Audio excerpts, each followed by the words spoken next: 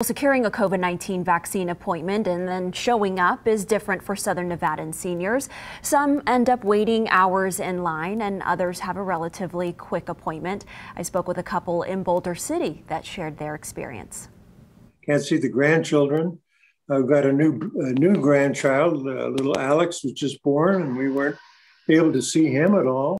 Boulder City couple William and Margaret Creelman, like many other eligible seniors, booked appointments to get their COVID 19 vaccine. After two days of trying, the frustration, we finally did get through and we got an appointment, but then they, they, they canceled us.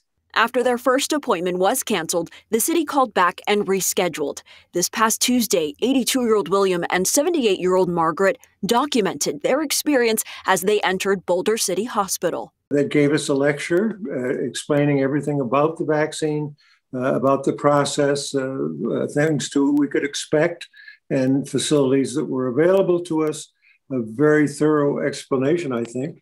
Oh, the presentation was was quite well done. The redness on the um, arm can actually appear anywhere from five to seven days, even post-vaccine. If I didn't mention that, so don't be alarmed if that actually happens. We felt, you know, quite confident about the whole process, and we were in and out very quickly, uh, all together. Less than an hour. After being in quarantine with one another and now sharing this experience together. Yeah, that was quick. Here's what they had to say ahead of Valentine's Day. Every day is Valentine's Day in this house. Yes, it is. yeah, we're going on 36 years now.